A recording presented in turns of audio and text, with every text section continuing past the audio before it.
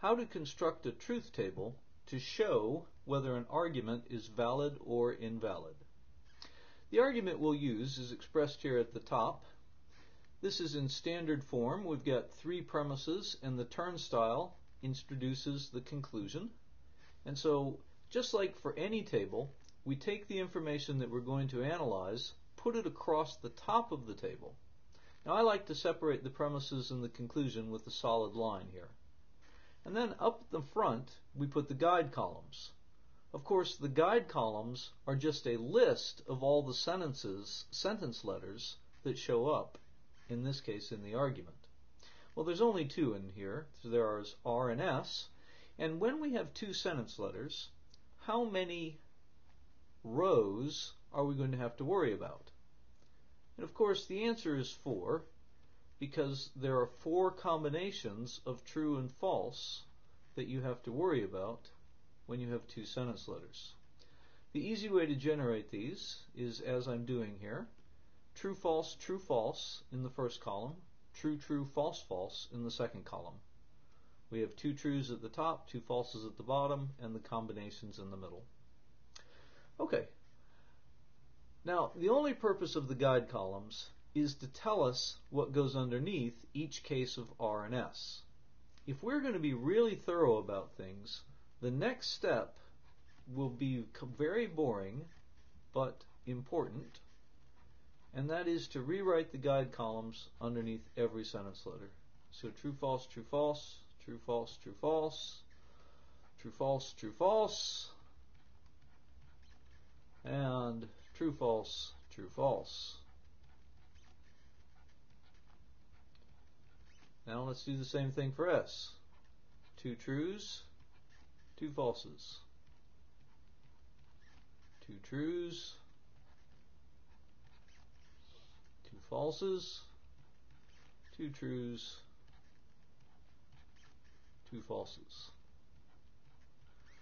And at this point, we're really done with the guide columns. That is their only job. Now the truth is, once you've done a number of tables, there are some shortcuts that you could take, but for this one, we should probably minimize the shortcuts. Now, the next step is something I probably wouldn't do for such a simple table, but it doesn't hurt to illustrate the concept, and that is I like to number all the connectives so that I know exactly what order I'm working in. We always do main connectives last, and so for this formula, I would number 1, 2, and then the ampersand itself would be 3.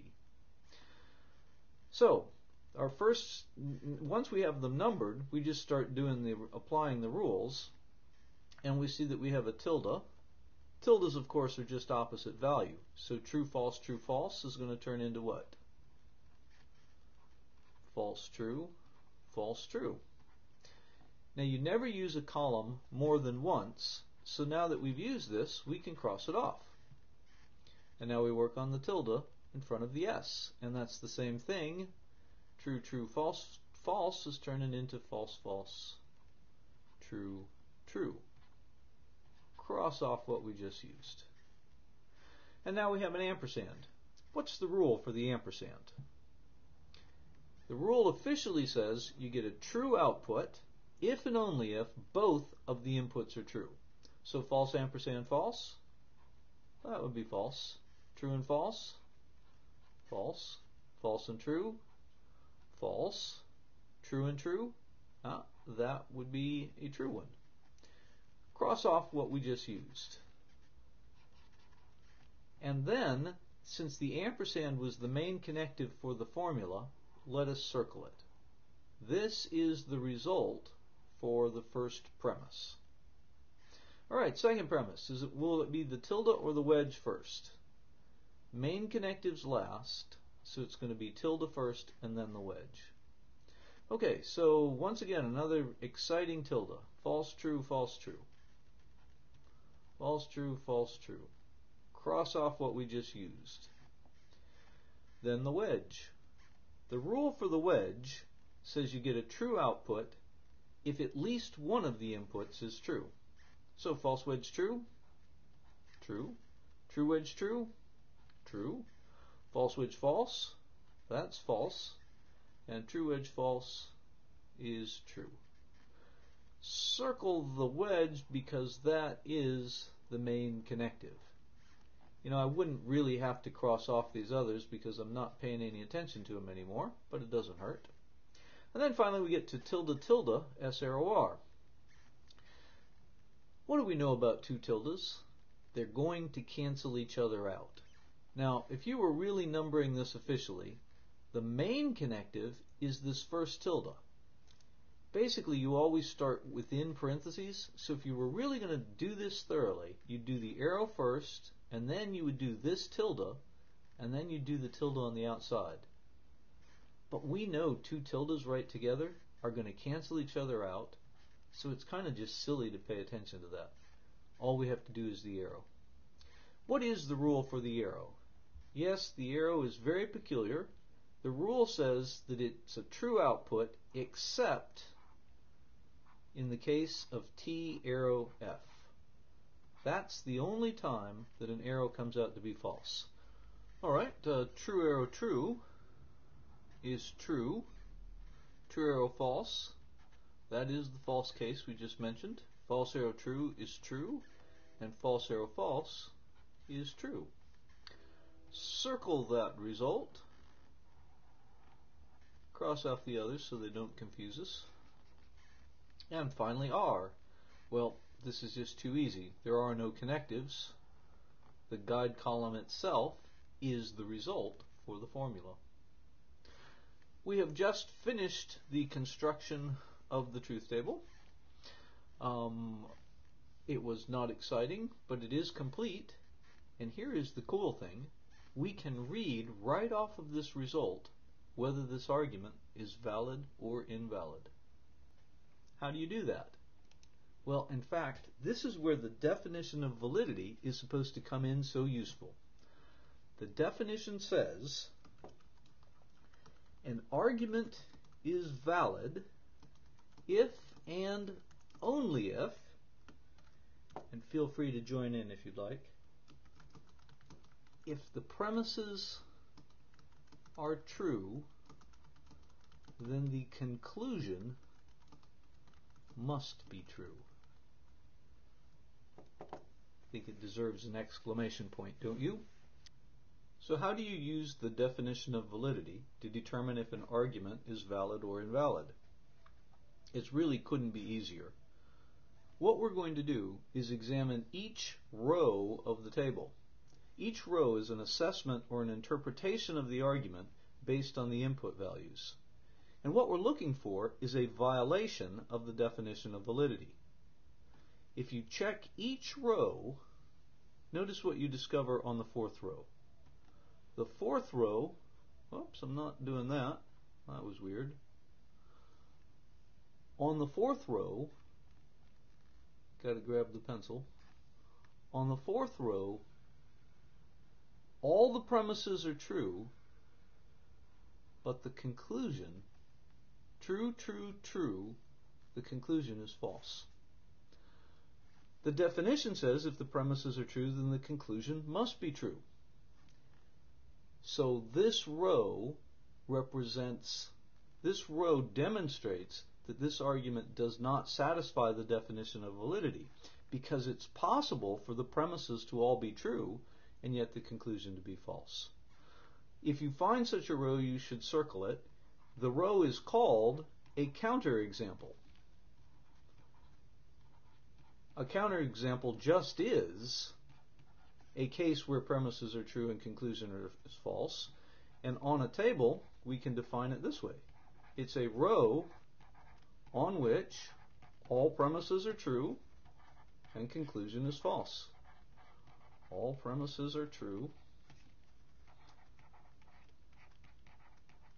and conclusion is false.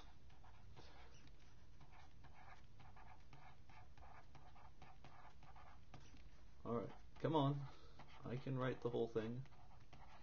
There we go. This is the definition of a counterexample for the table. And when you are checking an argument to see if it's valid or invalid, this is all that you need to look for. I know it almost seems too simple, doesn't it?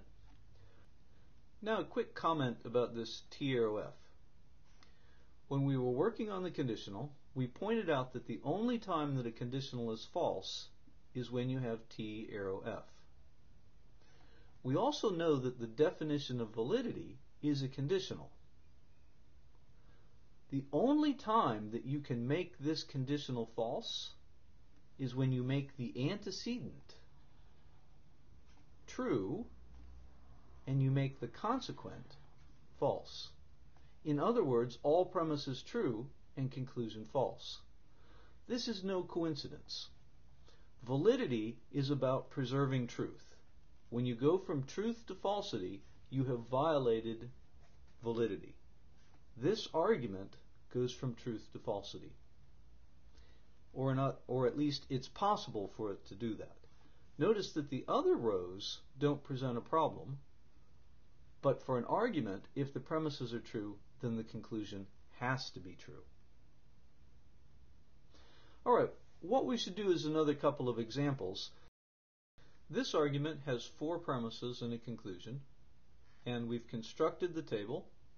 What's the answer? Is this argument valid or invalid? Now, of course, you might notice, hey, on the first row, we have all the premises true and the conclusion true. It turns out this doesn't interest us. Notice on the third row, we have got all the premises true and the conclusion false. That's a counterexample. If you have a counterexample, then the argument is invalid every single time. So I can't overemphasize. All you're looking for is a counterexample. If you find it, the argument's invalid. But if you don't find a counterexample, the argument's valid. So what about this row up here?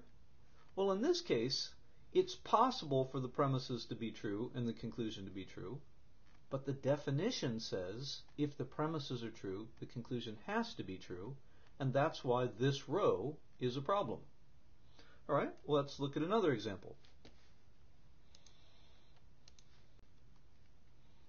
looking at this, is this valid or invalid? Well, notice the second row is all premises false and conclusion true. Does that interest us? And the answer is no, it does not. The only thing that we're interested in is a counterexample. All premises false and conclusion true, we don't care about that. We do find on the third row that all the premises are, the are true and the conclusion is true, but that's not especially interesting either. What's interesting is that there's no counterexample. Because there's no counterexample, we say it's valid. And really, what's the reason that this argument is valid? It's not because of row 3, it's valid because there is no, not not, but no, it's valid because there's no counterexample. I'm not going to fit this on here, am I? Oh, yeah, there it is. Okay. Count. Yes. All right. Uh, let's do another example. So this time we've got an eight-row example. I had to rearrange things to get it to fit on here. But we're looking for this very same thing. Three premises, one conclusion. Do you find a counterexample? And the answer is yes, you do. When you look at the fifth row, you see that all the premises are true and the conclusion is false. Always circle the counterexample. If you find a counterexample, then the argument's invalid. None of the other rows interest us. We are looking for violations of the definition of validity, and that's what we found. One more example. In this example, you'll notice that we have several counterexamples. We have a counterexample on row 1, and then there's another one on row 5, and yet another one on row 7. So you can have lots of counterexamples. The only point I want to make here is that doesn't necessarily make the argument more invalid. Basically, you, you're either valid or invalid uh, validity doesn't generally come in degrees. Alright, for this example, we are back to a four-row argument, And is this one valid or invalid? Obviously, your first thought is, wait, we don't have a conclusion. However, what is a counterexample? A row on which all the premises are true and the conclusion is false. Since there's no row where all the premises are true, this argument will be valid. In this particular case, it doesn't matter what the conclusion is, the argument would be valid. Notice if you look at premise 1 and premise 2 in particular, notice that they're exact opposites of each other. We've seen this doing proofs. It is as though premise 1 is B and premise 2 is tilde B. Premise 1 and premise 2 are contradicting each other. And what follows from a contradiction? Absolutely anything. If you were doing a proof, it wouldn't matter what your conclusion is. If your conclusion was D, well, you would just say, I'm going to make a box for tilde in or tilde out, and then you would assume the opposite as a provisional assumption, and then you would just insert the contradiction. 1, 2, ampersand in, and you're done. Justification here, of course, would be 3 through 4, tilde out. So from a contradiction, anything follows, and we're seeing that illustrated on the table.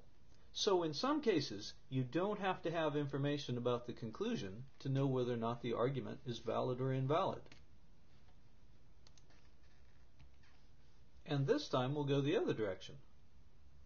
Is there enough information on this table to say if this argument's valid or invalid? And the answer is definitely yes. A counterexample is all premises true and conclusion false.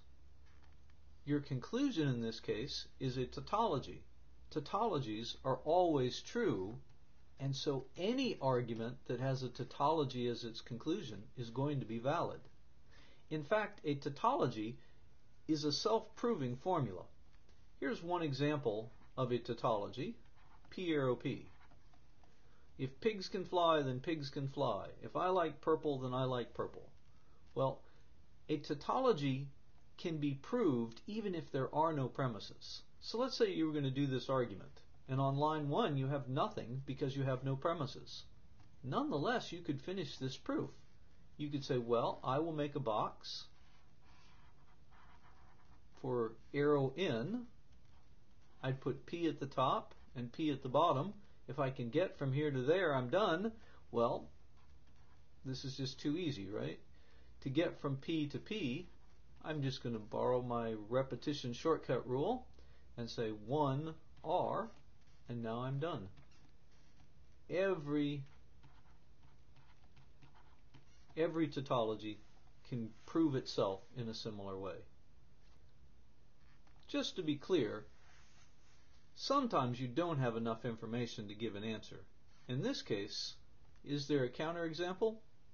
Well, on the second row you have all premises true, so you would really need to know what the value of the conclusion is in this case. So in this particular situation, there's not enough information.